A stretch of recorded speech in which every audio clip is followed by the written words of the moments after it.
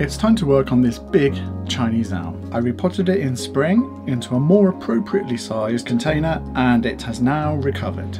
With all the growth that has exploded out, I really need to clean up so that I can see what's going on with the structure. I work my way from bottom to top, removing any dead, weak interior branches or crotch growth, take the threes down to twos. Do I have a reason to remove it? Are there any better options? That's the thought process I'm using.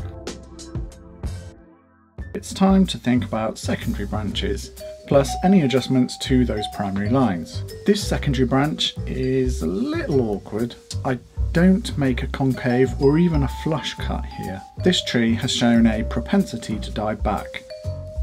The cut paste contains a hormone that encourages cell division and therefore callus growth to help close the wound, This branch is causing some inverse swelling on the inside of the bend. No, wait, not that branch. Okay, that was not my intention. Anyway, you didn't see that. I no longer need these lower branches to be as tall as they are, so I'll reduce the height of those.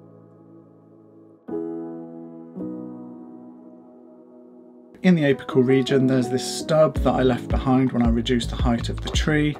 I left a good stub to reduce the risk of dieback.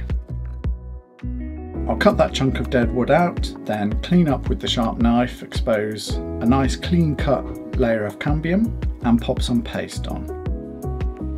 And I'll connect to the existing wound. Although this tree does show a willingness to die back, it also produces callus tissue pretty well. So the majority of the pruning work is done now. The tree's actually looking pretty darn good. But I think we can do better than this. There's no negative space separating the second branch from the trunk until it gets quite far up and also the branch then appears to emerge from the trunk at the same height as the third branch which kind of halts the flow so I'm going to bend it and if it works great if not then I'll remove it. The tricky part seems to be locating the anchor for the guy wire. I hate securing to the pot, had a bad experience in the past. Applying leverage to the trunk but securing to the pot puts pressure on the root mass, which is not good. But this time, I really have no choice. I attach the guy wire to the rebar. Next, I cut a small wedge perpendicular to the angle of the desired bend. If the wedge angle is too large, the tissue on the bend will be stretched too far. If the wedge goes too far past 50% through the branch, it may be excessively weakened. Finally, if the cut is not triangle shaped, there is a risk of a gap existing, so it needs to be just right. The risks are high. Having taken the wedge cut, I tighten the guy wire to initiate the bend in the branch. I need to adjust the cut with the saw to allow more bend as I progress. If I cut too far though, the ability for the branch to stay hydrated is jeopardized.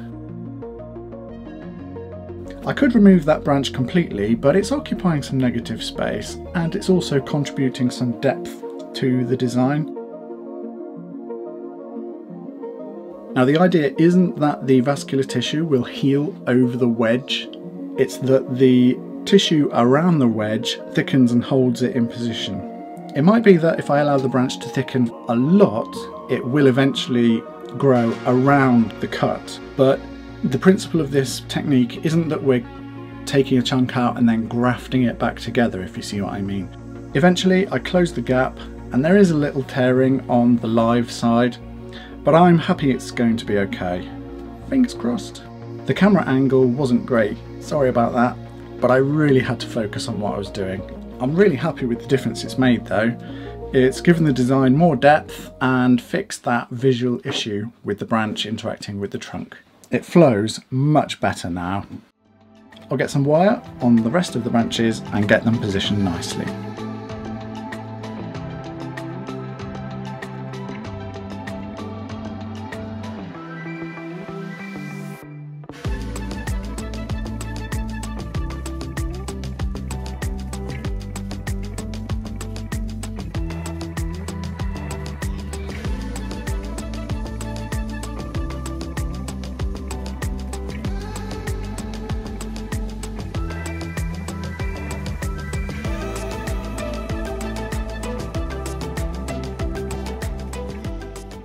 Common knowledge suggests to avoid crossing the trunk, but with this secondary branch, I'll use it to disguise the appearance of inverse taper created by the interaction between the dead and live wood about two thirds of the way up the trunk. Aside from anything else, hiding some of the trunk adds a little bit of mystique if you ask me, you know, curiosity or uh, increases the urge to look closer and investigate further rather than giving everything the tree's got away right up front.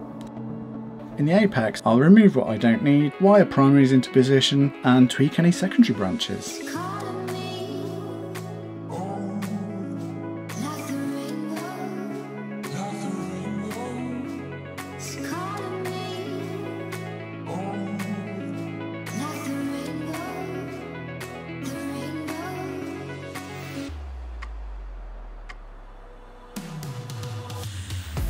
With the structure laid out, now we wait to see what the tree gives us. I have a feeling it won't be a long time until we find out.